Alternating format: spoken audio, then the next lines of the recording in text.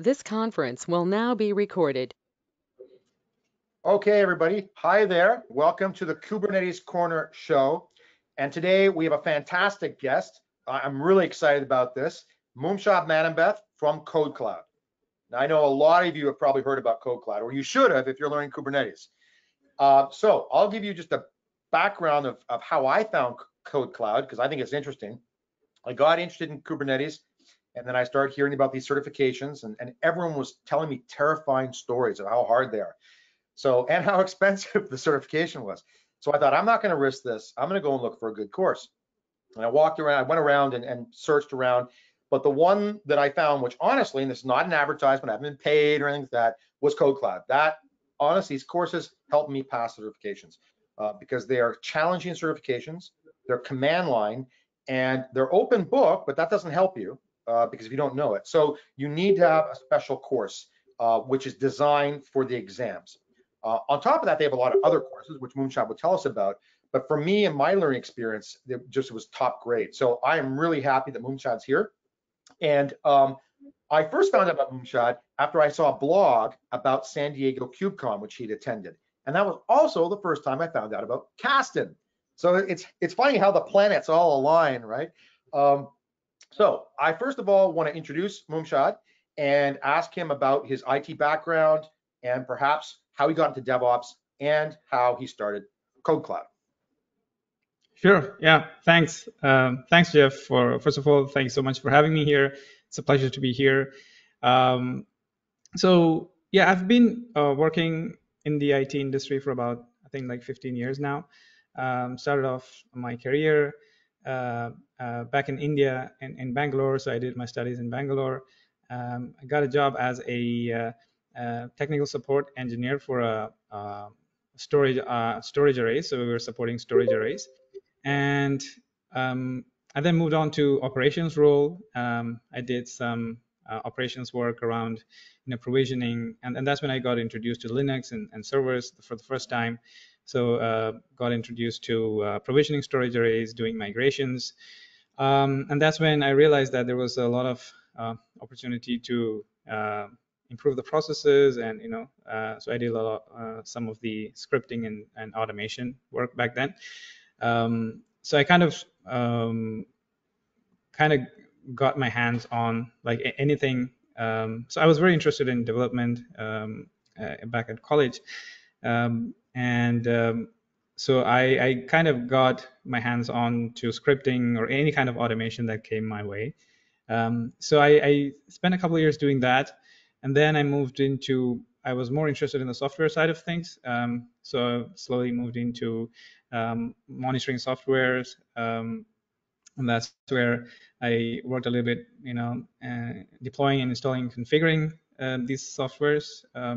And, and that's when I got in, uh, involved in virtualization. So I did uh, a bunch of VMware related stuff. Uh, um, and also got into you know developing some software, so developing drivers for storage arrays and things like that.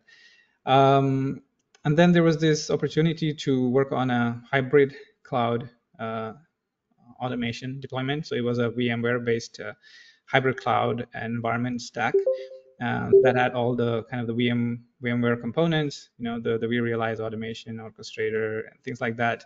Um, and back then, it uh, took like months to um, really go to a customer and deploy this this entire stack of you know tens of different VMs and then uh, making them and installing software on them and connecting them together.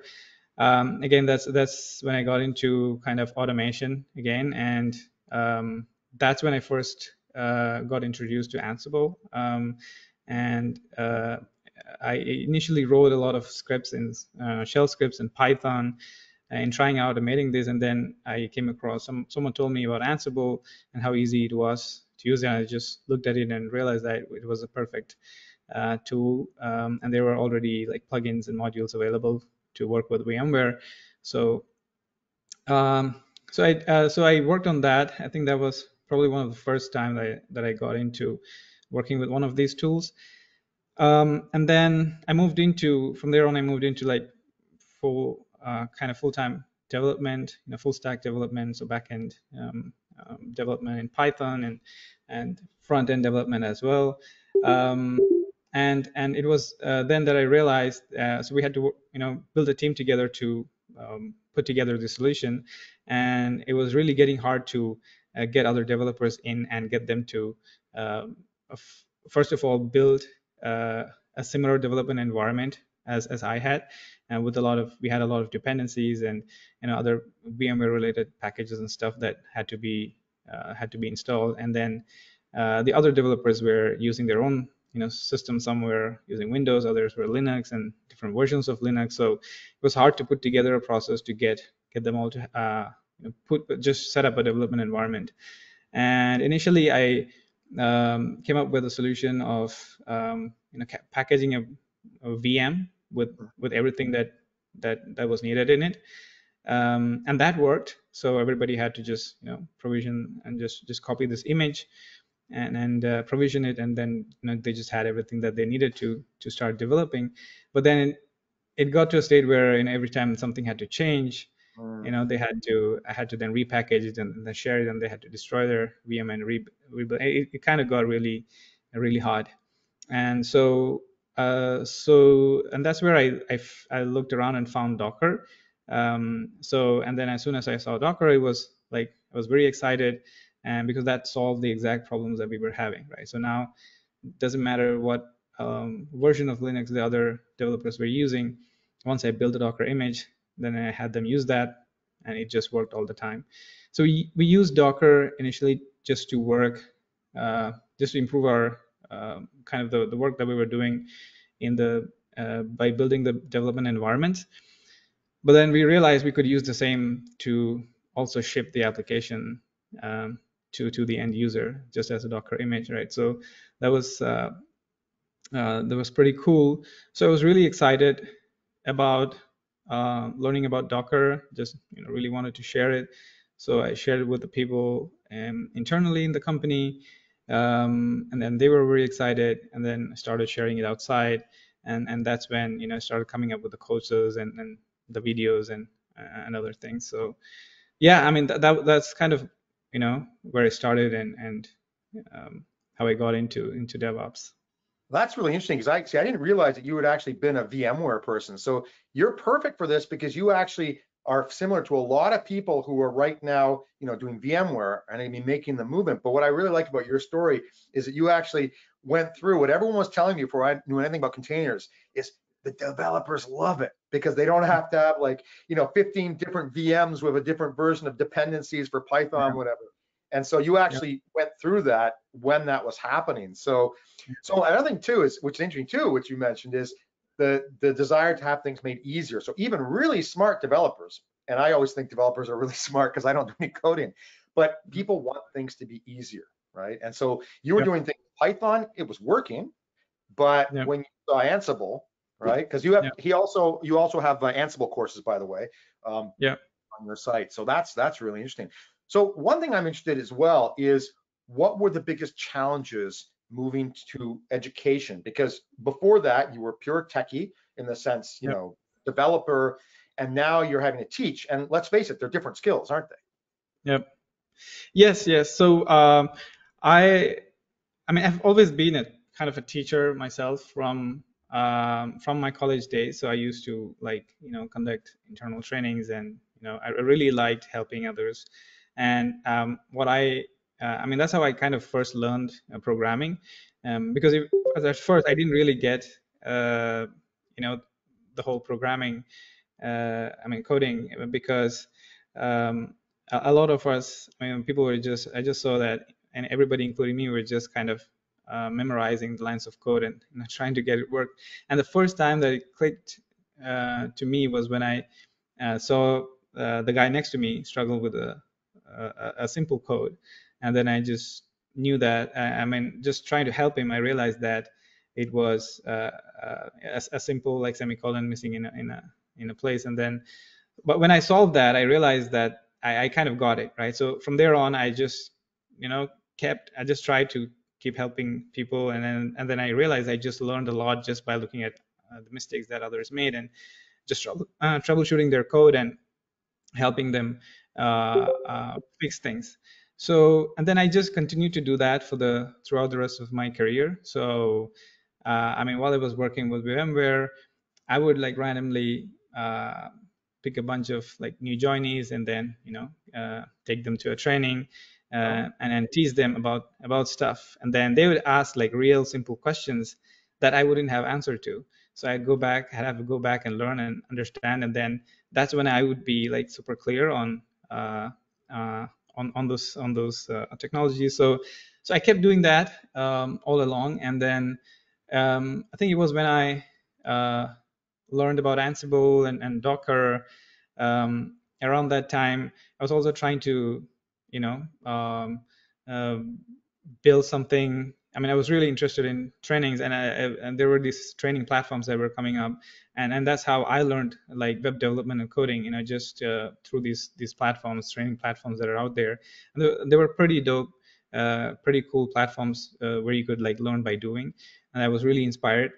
Um, so I tried to, you know, create a few videos and stuff, and that that's when I created. I think the first course was on Ansible, and um, one of the platform uh, back uh, at that time was Udemy. Um, so I posted the course on Udemy, and you know, fortunately, people liked um, the way I explained things, and um, uh, and there were no not many courses on Ansible at that time, so um, I was lucky. So yeah, and then I just from there on I just kept uh, mm, listening to my students. You know, the, they asked me for an advanced course, so I started creating that, and then just, they just asked me for a course on Docker, and I know luckily I was working on Docker at the time, so I created that, and then Kubernetes, and then CK, the certification courses. So I just kept listening to what uh, everybody asked, and I just you know kept on creating courses. Um, so yeah, I mean that's how I started uh, getting into creating uh, content. I think the first couple of years I was working uh, at my company and then you know creating courses uh, in my own time in the evenings and weekends. But then uh, after I had about like five or eight courses and you know a lot of students, it got to a point where I, I just thought I could like quit and just do that full time because I just really liked and just enjoyed uh, doing that. Um, so yeah, um, I mean that's that's how kind of my journey started with, with the whole education. Did, did, you ever think it would become a full time job when you started? You know, showing I didn't. yeah, no, I didn't. Like I didn't think that it would become a full time job, even like a month before I actually quit, uh, because it was never. yeah, it was never a full time job for me. I mean, I was just. I mean, I always liked. I liked my job. I liked uh, working, uh, and um, uh, you know you, you get to work on like real uh, projects and stuff so i just uh, wanted to continue to do that. Um, but then it just got to a point where like it, it, just both just got so overwhelming and i just decided like i mean i just thought like why not just quit? And so i think like the same day i put my papers and in, in after a month i left the company. Wow. Yeah well and that's one thing i'll point out with KodeKloud which i really like is the feedback mechanism because there's a part on the site where you say what courses would you like? and people you know type things in and lo and behold they actually show up. And that's always nice. I actually was one of the people who went i want an OpenShift course and i want a pca course and boom they came out. That's that's really good because the feedback's important. I think it's also important that one of the things that happened you naturally fell into a niche which obviously was not being full, was not being fed put it that way. Um, there was a big desire for training out there for this type of training and you know it just wasn't there. Um, so you know you came at the right time. But tell me one thing, as far as uh, keeping up with technology, this is a question I get asked all the time. Um, they say, Geoff, um, you must have no social life, right? Because all you do is study. And I go, well, yeah, I mean, but in seriousness, though, it is a big problem for professional IT people. And even I think for people who are young, who are just out of college, they're doing their college courses, to keep up with the fast pace. What would your yeah. recommendations be to to everybody on, on that account? Yeah. Um, so yeah, so that's totally true. Um, especially, I think in this age, I think in the past uh, five years or the past decade, where things uh, started changing really quickly because I think um, with a lot of communities, uh, people coming together, forming communities, and the open source communities where you know everybody's sharing everything. Um, I think those led to um, the the you know development of a lot of these new ways uh, of you know building infrastructure and maintaining and configuring and uh, even application development. Um, so we've seen like a big uh, uptake in you know the number of tools or the the innovation that's happening in this whole industry. So uh, and I also understand that it's like super overwhelming uh, when it comes to uh, seeing all these tools and then having to learn all these tools. Um, and there's like um, so many different variations of tools for just solving the same problem and everybody coming up with their own tools. So um, like the CNCF landscape, if you see, there's like uh, a, a, lot of uh, a lot of things there. Yeah. So, and that's the thing is that uh, the first time uh, when I was at KubeCon in LA, they had on the wall the landscape on this big chart, and, and I looked at it, and went, oh boy, I don't have to learn Yeah. all this, do I? But Yeah. the other problem too is what people I've heard saying, and and I kind of ran into this too because I got into Kubernetes through Docker Swarm, and it was a funny story. My company we were using Veeam, and Veeam introduced um, S3 as a capacity tier, and we went and looked around, and we found MinIO, and they said, well, you really to do this multi-tenant, you need to do it with containers. Oh, okay. And they said, you know, Kubernetes or Docker. And I very naively thought, well, I'll take a book on the weekend, learn Kubernetes, and have it on Monday working. Well, that was not what happened, to say the least.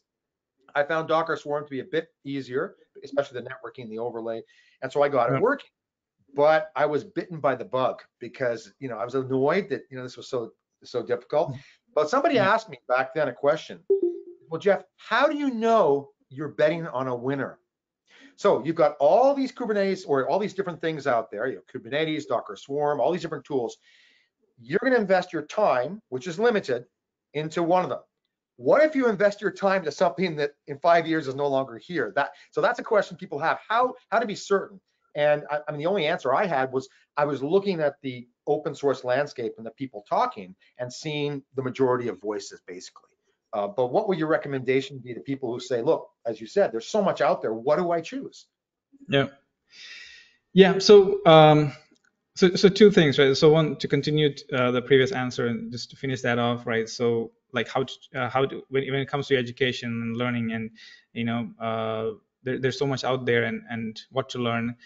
Um, so if, so first of all, if it's, uh, in, in your current, like your, your requirements, um, so what is it that your company needs your um, you know your project needs uh, out of you? And and you said the docker swarm versus kubernetes right? But if it is docker swarm right and it could be docker swarm too right? If uh, there there could be use cases scenarios where you could just get away with docker swarm you know a super simple setup easy easy to and i personally when i started uh, into container orchestration when we build the our labs that that run on container um, clusters, we started with Docker Swarm. It was just super easy, as, as you said, super easy to get started, and and and that worked for years, right? So there's um, and you also want to spend make sure you spend your time on um, efficiently and on, on things that really matter. So when it comes to choosing tools or technologies to solve problems, um, I think it's always important to see um, uh, first first evaluate what are the tools that you need uh, to right tools for for your problems. Um, and uh, i mean of course kubernetes is not the solution to all the problems right? And you don't have to make it that way too. Um, there could be uh, a lot of other solutions. Um, so yeah i mean so when it comes to you know the product development or like when we built the first version of our let's say our school or our online learning platform we just went with like a saas platform that that gave us uh, where you could just go in and build uh, your own school, online school, in like one day, right? So nothing, you don't need to worry about anything. And and there's there's so many uh, similar platforms out there, like the no code platforms or the, the software as a service platforms, where you, you don't really need to know anything to to build those applications. And I, I think that that kind of that trend in that area is going to um, um, going to increase. Um, but yeah, I think it's all about um, one. Uh, if you're if you're uh, trying to identify a solution for your your your company for your organization, should always be based on uh, what problems is it that you need to solve and identifying the right tool uh, so you can manage it efficiently as well with the resources you have in hand. Um, if it if it's if it comes to learning, so if it, if it does, doesn't really have anything to do with um, like if you're looking for a job change or if you, you know, want to really upskill and get to the next level, uh, then I think it it matters uh, that you look at um, um, the of course the most uh, in demand or the most uh, um, mm, if you look at job descriptions out there and, and do your analysis on what are the you know, tools, uh, what are the opportunities available, then you might want to make a decision based on that as well. So I think I would answer that in, in those two ways. Yeah, that's that's a Yeah. good way to put it. And it actually shows the different generations too, to some extent, because you got the virtualization people who are thinking, well, what problems do I have now? What problems in the future? And then you got people coming fresh out of college, for instance, who, you know, Kubernetes. And, and the funny thing is, the last Canada Kubernetes meeting I went to, um, there were some young uh, people there, and that's all they've done was Kubernetes. And I thought, wow, this is incredible. So you, you don't know what a physical server is? You know, you Yeah. never had a tape in your head. Um, so Yeah. that's so another question I've got for you, because you are kind of the incarnation of both. So people ask me, what is this term DevOps? And I say, I have no idea. But but developers and operations.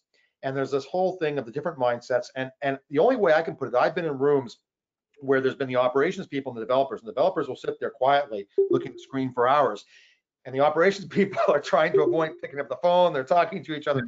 And so you know, it, there is a, a mindset difference. And what, how have you seen that? And and you see that differently in the education section as well? Yeah. So, I mean, if you were to ask me uh, about DevOps, um, so first of all, I, I believe that it's like a it's a very natural evolution of uh, everything that we have all been doing. You know, the, the developers developing software and and the operations people running it, uh, and everyone else involved too, right? And for years, um, we've been, I mean, as sysadmins, we've been trying to automate um, and and and that that i mean we have been doing that right? Uh, we've been trying to make things efficient. You know when there are like hundreds of servers to patch we've always tried to build scripts um, to uh, to patch them and to automate some of those uh, processes as, as i mentioned like when we were doing migrations. Um, there were so many things that i mean all you had to do was log into a linux server and just run commands one after the other uh, and I, I just kept wondering like why hasn't anyone written a script for it right? Uh, with a, uh, a few decisions that had to be made in between which could you, could easily write with like if statements in in a script. Um, so we've always uh, as as sysadmins we've always tried to improve things um, efficiently. And as developers you always wanted uh, your code to go live uh, as soon as possible in in, in the best way. Um, so I think all that effort that everyone put in in, for, for those years. So if you look at the sysadmins, I mean, all the sysadmins in the world were uh, all, all of them were working on the Linux systems, in, be be, the, be them in, in different banks or different organizations. They were all having the same problems, and they were all trying to solve the same problems. And probably they were sol- solving it in the same way. They're probably writing like very similar scripts, right? So there's like a lot of duplication of work, and um, that's where, uh, as I said in the past decade, when uh, people came together, build communities, and uh, when companies opened up to sharing uh, their projects through those projects and stuff, um, that's when all of these efforts came in and became evolved into these like tools. Like for infrastructure, you have like you know, Chef, Puppet, and then Ansible and Terraform. These evolved where uh, like you didn't have to solve these problems uh, you know you're in your own way instead um, now it's being shared like somebody is solving it once and then they're able to share it the same goes on the developers um, uh, side of things too right the, all the development processes the builds and tests and everything um, is is uh, is evolved and Um, now, like uh, ultimately, everybody. I mean, to me, DevOps is really going from the idea to getting it out in the easiest and uh, uh, the most efficient way possible. Um, and so everybody, all the manual tasks in between is really um, kind of hindering that, that process. And, and, we've anyway been trying to automate these. It just got to a new new level, and, and it's now named um, DevOps. So, um, and and of course all the other kind of uh, methodologies um, that are part of it, like you know reducing wastage, um, building lean, uh, going lean first, uh, the lean first approach, and then listening to feedback. And I mean these are um, natural things that you would do anyway. Um, and I think now with with DevOps, you've kind of defined uh, all of these things. Um, and and just now it's kind of anyway like today if you're building a new application you're automatically even if you as you said uh, the those junior um, engineers or developers that are coming out of school today they're not going to go and build on servers you know uh, and then deploy applications. They're just going to use uh, you know some kind of serverless. Probably they'll start with functions and then they'll work their way if if, they, if needed they'll probably work use some kind of serverless uh, um, uh, tools or technologies to build their applications. They don't even want to know about servers or anything that's happening right? So so i think that is the natural progression. Um, and and i mean if even if you call yourself as a devops engineer or not uh, we're already i think we're already there. Anything new that's being built today is built you know, with those principles in mind. Yeah exactly.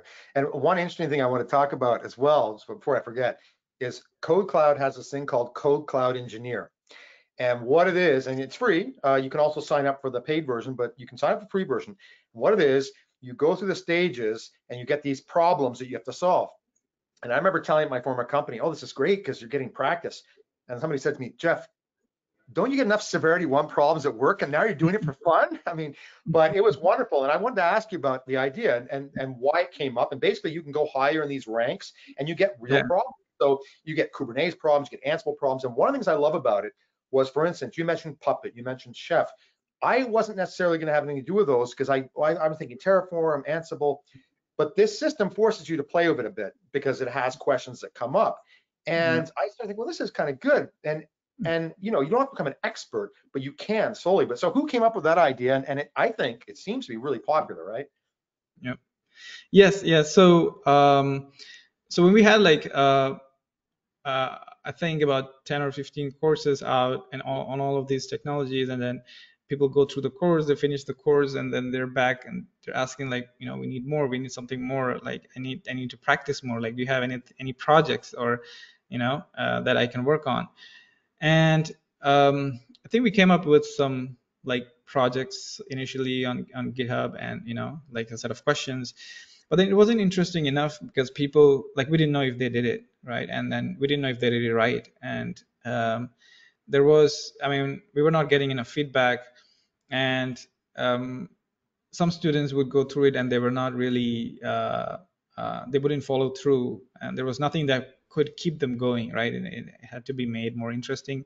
And that's how we came up with this um, concept of a KodeKloud engineer, where we thought, you know, what if we put you into a, a virtual company?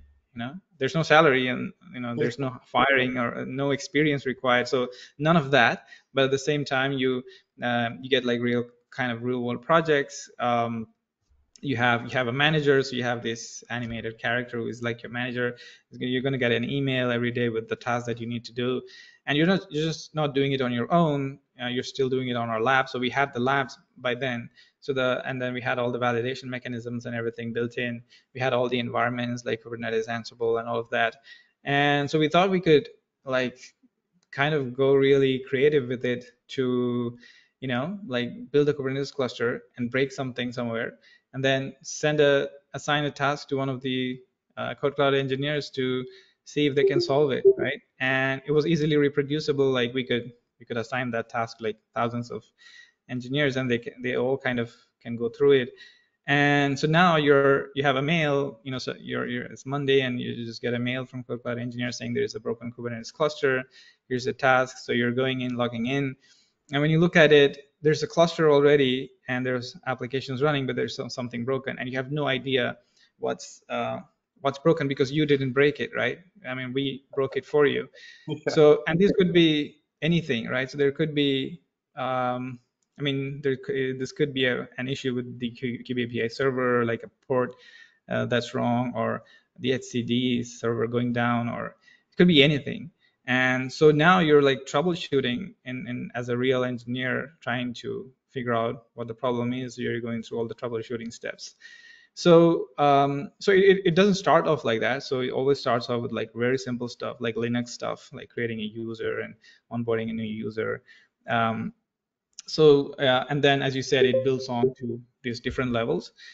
Um, and and there's also things like you know when you're when you're working in a uh, in a new company or like let's say a startup where you know you're just uh, expected to to start working and uh, without any kind of formal onboarding right? Um, you have these uh, uh, these documents somewhere with the you know the, this architecture diagram somewhere this information about users and and credentials to access these things in different places. So you have to really go through and look at the architecture diagram and figure out, okay, the backup server is here, the um, um, you know the the LDAP, the AD server is here. Um, so you have to figure those things out on your own. So we kind of purposely made it kind of vague, uh, saying that these are the resources you have, and the question is just that, um, hey, the backup server is broken, and then you have to fix it, right? And there's nobody to help you. So there's a, there's a little bit of investigation that you have to do outside of like the server and stuff like before even getting into the server. Look at the architecture diagram understand like what's the name of the backup server kind of figure out how to what's the ip address of that and then log into the jump server then log into the backup server. So um, i think i think people really like that uh, and we've been uh, since um, adding uh, more and more tasks to it. Um, so there's this this uh, last phase called the solutions architect where you know so you start off as a junior role like a junior devops engineer we call it and then uh, like a senior and the devops engineer and senior devops engineer. And then with the architect level we really wanted to do something different because until then you're just working on these linux shells and you know just just building custom i mean just working on these troubleshooting issues or, or you know provisioning stuff deploying applications uh, almost all, all of the things that we kind of teach in in our courses but now it's done in a, like a different way. So if you go through the courses you uh, you should be able to and if you really learn something then you should be able to apply that those here. Um, but then uh, with the, the SA the last level we wanted to do something different. And then so right now we have our cloud labs. So we have like um, in the past year we've been working on integrating the cloud playgrounds which is like the aws gcp and and Google Cloud. So we have all of that. Um, so right now it's just playgrounds where you know you just get access to one of these for three, uh, like for about three hours, and then you can do whatever you want without having to worry about the bills or costs or anything, as long as you have a, an active subscription, of course. Um, but then, so right now we're working on integrating these to the KodeKloud Engineer. So now going forward, uh, some of the SA level roles would be where you have uh, an entire cloud environment with VMs and uh, network, you know, network VPCs and everything configured. So now you're going to have to troubleshoot like an entire uh, fully provisioned cloud environment with a lot of systems and all of that exclusively for for you. And the issue could be anywhere, right? It could be an IP address, wrong IP address in the configured in the VPC, or uh, it could be an SSL certificate issue, or um, uh, a, a, wrong subnet, or something like that and then so that's going to be really challenging. So so those are coming up. Uh, that's what we're working on right now. Um, but yeah, I mean, uh, uh, people really like it. They kind of add it as an experience to their uh, to their resume. Yeah. yeah. So that was really shocking. Uh, um, but yeah. Yeah, because I, I will say that what I like about it is I, I've worked before for service providers, so backup service providers, and one of the things we have to do is go into people's environments, different companies' environments, and help them out. And so it was always a cold shower, I used to say, because you'd come into certain environments, they'd be nicely, and you come into other environments, it would be a jungle. And, you know, but you as the consultant, whatever, would have to come in. And I thought to myself, uh, it was very stressful, but it also was extremely good for growth. for you know practice. And I thought, well, what if you just work in one company all your life and you've got, and you, after a while, if you're good at IT, you know all your systems pretty well. You'll have a disaster once every once in a while. So yeah. The thing I like about KodeKloud Engineers, I, my answer to this person was, well, yes, it's severity one problems, but it's different environments, and there's no stress because I don't get fired. Right? so that's one thing to remember. So yeah. one one question is, it must be difficult to keep all these things running uh, because I mean they're very complicated environments. I guess your background, especially in coding and in supporting systems, has helped, but that probably grew on you too because the demand was. Is that a big yes, yeah, yep. yeah, absolutely. So, uh, so uh, I mean, so so it, it definitely helped. I mean, uh, put together kind of the proof of concepts in the beginning um, as I was thinking about building these labs. In fact, I was um, um, even before building the labs, uh, myself, um, I mean, I, I, really like, I'm a person of uh, lean approach. So I, I, always kind of try to see if there are ways uh, that that's, if there are lean ways that's, that's available before I go in and like spend hundreds of hours trying to build something from scratch, right? So, um, so one of the funny thing is that, um, so when I first started the CKAD uh, course, so I didn't, we didn't have any labs for the for many of the initial courses, right? So we had Ansible, Docker, uh, the Kubernetes for beginners course. We had Chef, Puppet, and none of these courses initially had any labs on it. Uh, so it, it, was without the labs for for a year or so. And then we had the Kubernetes courses, and then um, and and my uh, goal was just to you know continue to keep creating like basic courses on all of these technologies, right? So so I had Docker, Ansible, um, then I was I had Kubernetes, and and then I was my plan was to just go kind of wide and cover like maybe other tools that are out there like Git and Terraform and uh, and then it, it was around then that uh, people said like the Kubernetes beginners course that I created was like like too basic. Um, that was my my goal too, but um, I kind of received some uh, you know feedback that it was too basic and they needed more and that's when that's where I realized that there were certification courses. So you know why not create courses on certification? So so I, I prepared the CKAD certification first um, because that was because back then CKAD was two hours and the CKA course was three hours uh, long, and and CKAD had like very few portions to cover and CKA had like a lot. So I wanted to tackle the the small one first. So um, so uh, I, I build a CKAD course. Uh, in fact, before building the course, I, I, took the exam myself, and I barely passed. I mean, I, I just really? just passed. yeah. So I wanted to see what the uh, format was because you know um, because I knew that uh, I didn't even know that it was a hands-on exam in the beginning. Thought it was a multiple choice, but then as I kind of enrolled in the exam, I realized that it was a different format. So before building the course, I wanted to see yeah. uh, get an idea, and there were no courses back then, really, um, uh, there were a few GitHub repositories that had uh, information about how the exams were going to be, but there were no courses. So I thought that it was a good opportunity too. So um, so I took the exam, and uh, I remember, and I, I did the mistake that everybody does, right? So you have you have a few questions, easy questions, you do that really fast, and then you yeah. get this hard question, and then you get stuck on that. And then I just wanted to fix that uh, no matter what right? So I spend like a, 20, a good 20, 25 minutes on one question, and then I realize that I'm running out of time, and then I skip that and go through and try to complete the rest, and then I ran out of time. Uh, and I just I remember you know, telling my wife that I mean I just I could have finished it the last few questions if I had been a bit more uh, mindful with the time. Um, but then and then when the results came, I think it was like 66% to pass, and I had like 67%. So I, I just made it through. Uh, but I got a good idea of uh, how the format is, uh, you know, how to prepare everybody.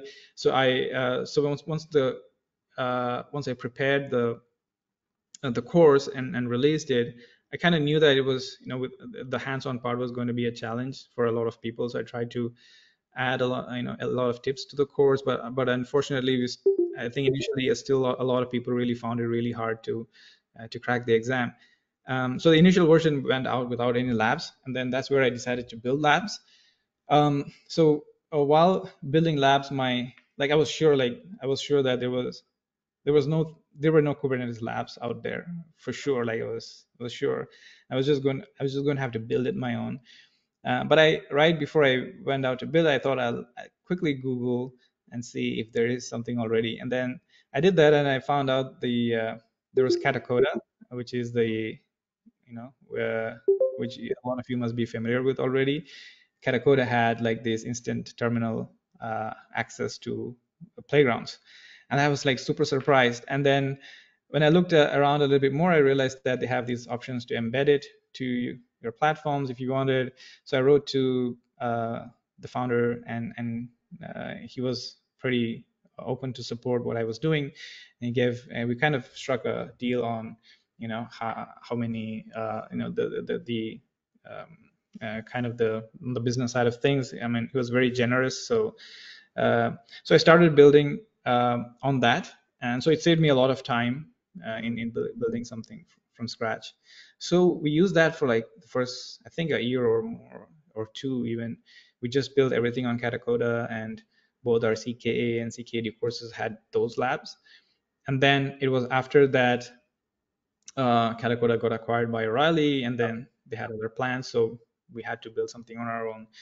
So that's when we first put together the original proof of concept, and uh, I realized that I mean uh, I, I, couldn't do it alone. I needed a team, so that's when uh, uh, by that time I had quit. So I, I also hired a couple of other guys uh, Vijin, who uh, helped me um, kind of, he just took on the entire development and uh, side of the whole lab and just helped me put it all together.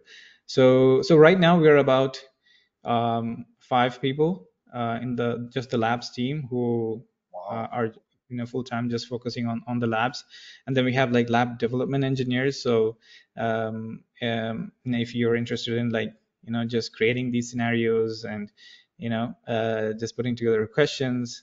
Uh, again, uh, through our, we have a Slack community where everybody, uh, we have about 60,000 people. I'm pretty sure wow. you're, you're part of it. Yeah, yeah. no, I've seen that. I, the number keeps going up. So it's like, you know. Yeah. Yeah. So we, we have about 60,000 people there. So we, we, all, we just try to reach out to you know, anybody who's interested in working with us and you know there's a lot of people you could get. And we've put made an interface where you could like easily build some of these scenarios. Um, so yeah, so uh, a team of five just working on the, uh, you know, uh, keeping these labs up, and then uh, we have many other lab engineer, I mean, development engineers who who build the labs. Yeah, and I'll say it works really well because I I subscribed and I I like to go on the playgrounds too, and it's not just playgrounds GCP. They have like a playground for like Ansible, like specific. You want a three node cluster, you can go in there. So I do that a mm. lot. I wanted to turn some questions from other people and one's from Michael Cade, so I'll quote his question.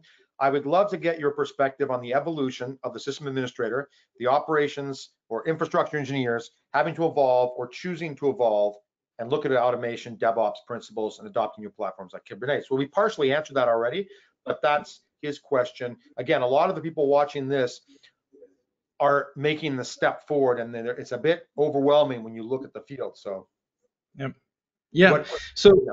yeah. So so the the evolution of these roles right it and i think like when it comes to any role uh, doesn't matter um, i mean like everything needs to evolve. That's and everything evolves. Eventually that's that's kind of my belief. Be it a, like a software developer you're uh, you've been working on like c or java in the past and now you have to learn like know, python or golang to to and yeah that there's an evolution there. If you're a front end developer you know you've been working on um, I think JavaScript in the back uh, in the past, and now you have um, Vue.js and Next.js and you know uh, React and all of that. So you have to evolve. The, the same goes for uh, I think anything. So um, the sysadmins in the past. So uh, as I said, it's a natural evolution. Um, you know, and, and when there were mainframes, and then we evolved to like servers, so everybody learned servers, and we've been working on that. And then like about a decade ago, you have like uh, or 15 years ago, you have VMware coming up with virtualization, and then we all started learning virtualization. Like there was no living without virtualization. Um, and so we all got like VMware trained and VMware certified.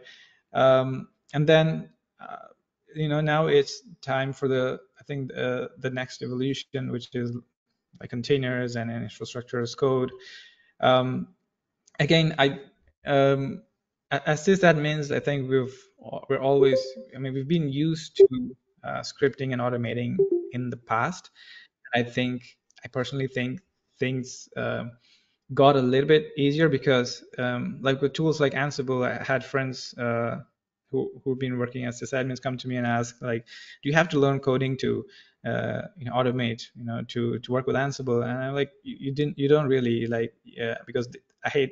I mean, they, they told me that they hate coding and having to learn. I mean, that's something they've been trying to run away since like college days, and that's why they you know, they wanted to move to the uh, the ops side of things. And know, we've been uh, uh, peaceful for for some time, but now you know you, there's like code here too. So peaceful for some times, yeah.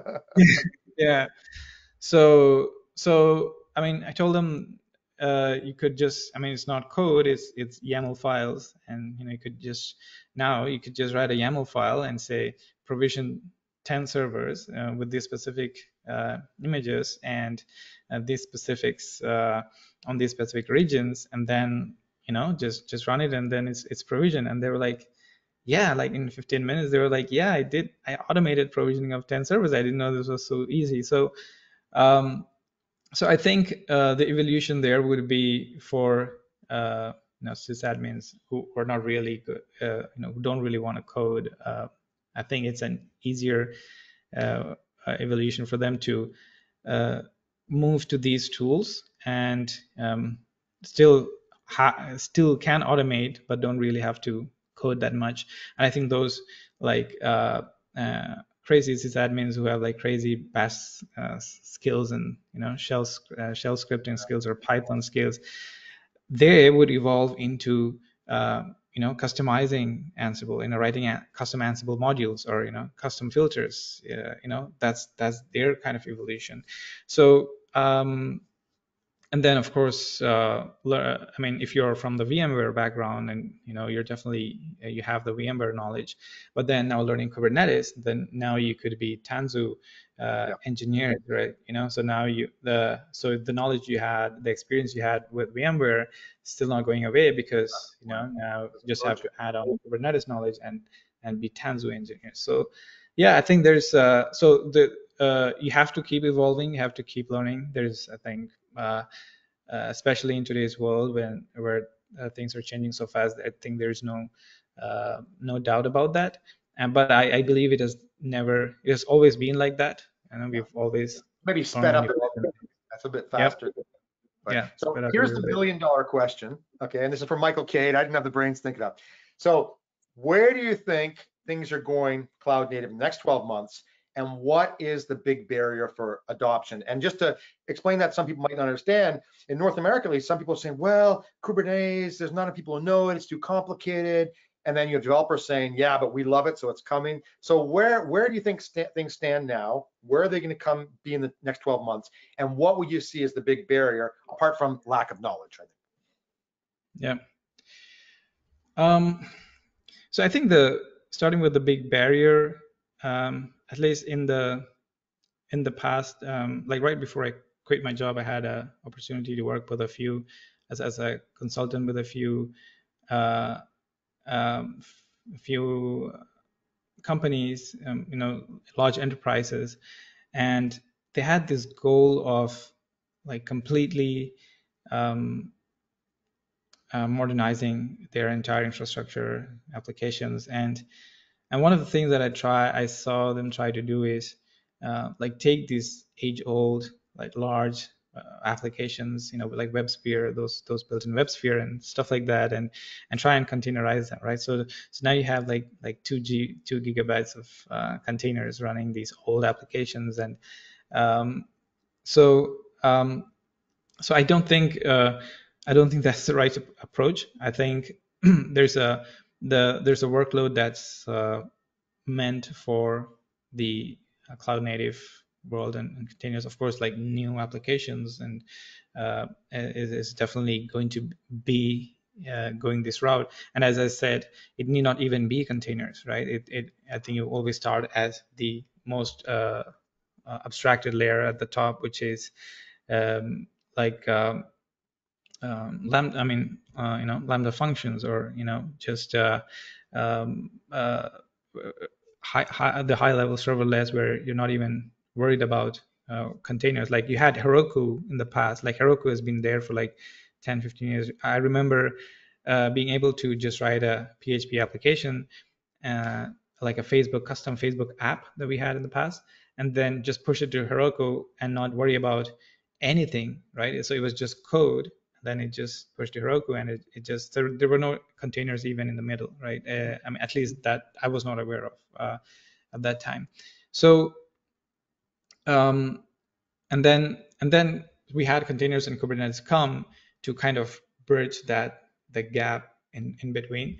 So um, and as we have seen, right? Um, so it's always going to. I mean, the, uh, the the adoption is definitely going to increase. If you see the um, the reports from Linux Foundation and the the the CNCF uh, that that just came out like a few months ago, right? Um, a, lot of organizations are moving this direction. Um, so I'm, I'm really not sure, like in the next 12 months, um, what's the uh, the big change that's going to happen. I mean, especially in the large enterprises, it's it's still there's still like a lot of um, age-old applications that's that's uh, going to continue to stay in that old way. But I think you know you, you look at the uh, um, the, the different R's of migration migration to the cloud, right? Like the rehosting and refactoring. So I, I think um, depending on what's best for those applications and how long they have to stay, and um, uh, I think it would depend a lot on those. Mm-hmm. Um, and and when it comes to barrier of entry, I think it's uh, uh, it's got to do a lot with education and uh, not just you know when we say DevOps, not just the developers or operations, but more uh, everyone else, uh, even the management um, teams at different organizations. But I, you know, right, if you look at it right now, everybody is. Uh, I think we're past that stage where you know, we're still trying to convince people upper, upper management. Um, I think everybody is on the boat right now, and uh, you can see even like large enterprises is um, making that move um, to to to the cloud native and the DevOps world. So, okay. There's one more question from someone else here, which uh, uh, let's see, find it. Uh, actually, Madeline, I can't see it. Do you see the question? Maybe you can ask it for me. I'm trying to find it. It's in there. Someone said there was one more question. Yes, there is one more question from Michael as well, Michael oh. Cade. Um, you cannot see the chat. Um, no, I can. It's just like my screen's over here, and I had I had my questions there, and I was trying to read. I'm on a Mac, oh, okay. learning curve. I used to be on Windows. They put me on a Mac. It's like, oh no. It's, so okay. Um, oh, I'm yeah, hogging so, questions. He says, right. I see that one. Yeah. Um, but another one for me is that Kubernetes is always deemed to be the developer focused.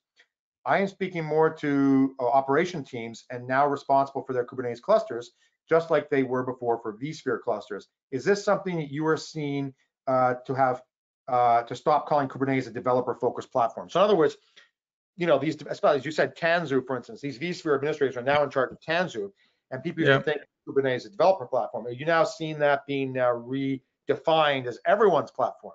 I guess. Yeah, yeah, yeah. So, um, so I, first of all, I think the, I mean, the reason that it is deemed as a developer-focused platform because is because I think it came from the developer community, right? Like Docker came from uh, developers trying to uh, uh, make their life better, right? And I think so that's how containers, uh, you know, came together. And then you had like container orchestration tools like Kubernetes and others, um, which, uh, yes, I mean, ideally it is to make the developers' life easy, but but as as you can see, as, as you mentioned. Um, now, with Tanzu and um, you know operations folks being responsible for you know maintaining the Kubernetes clusters and you know with um, uh, responsible for their backup operations like uh, uh, with Veeam and other other tools. Um, and there's there's the I, I, did a little bit of work with Portworx where you know we had a course for them, and there's a lot of things like the the storage integrations and all of that, right? So of course all of that is ops, right? So yeah, I mean I I um, I think it's it it originated as a platform for making um, developers' lives easier. Um, uh, was built by developers, but I, uh, right now, as, as I think, as you mentioned, it is it is for everyone. Yeah, and and I'll I'll add in one thing I think which is true. When someone said, "Why are you so interested in this?" I said, because you know, at the end of the day, it's fun. Kubernetes is fun. You can do things. If you went into IT originally, you went in there. Well, at least I did because it was fun. I was playing a game, and then I started to work. People paid me money for it, and Kubernetes brought back that feeling of wow, it was a feeling I had when I got into VMs at first from physical servers that you can do this all on this. And now with your laptop, you know, you can just create your own little world. So that's what I, I like to say to people is it's fun. KodeKloud's got fun courses too. So you can take something that looks terrifying and scary and have fun. So I think that's the way. Um, but uh, yeah, so folks, anybody, any more questions? We're just at the hour now. This was a fantastic talk. That's a problem. The really good talks go by so quickly. You go, oh no, I don't want to end them. But if there's anybody else out there wants a question, um, otherwise, you know, you can always sign up for KodeKloud courses and ask a question. Um, but Madalena, yeah. I think that's that's it. Look, I want to thank uh, Mumshad. That's a fantastic talk. Um, I've learned a lot. I think everyone else has. And um, anything you want to say? Final mentions or something? Oh no. So first of all, thanks um, for having me here. Uh, I think this was a really good conversation, and um, yeah, and and the our Slack channel is always open. So if you just go to our uh, uh, our website and kodekloud.com, there's a link to join our Slack channel. So uh, you know it's open and anybody can join. You get an invite and then you can uh, be part of our Slack group. So there's there's a lot of conversations happening there. A lot of students trying to help each other. So if you're someone who's uh, who's finding it hard to you know start or continue your learning, you know, uh, drop by and uh, we have a lot of people uh, learning together. So yeah, thanks. Thanks for having me, Geoff. Thank you very much for being here, Mumshad, with us. Thank you, Geoff, for organizing this. And uh, this session is going to be recorded and we're going to send it out. Uh, we're going to post it on the YouTube, right, uh, Geoff? So mm -hmm. everyone will have access to it. Okay, well, thank you very much, everybody. And we'll see you in the new year. Thank you. All right. Yeah. Bye, Bye you. New Year and good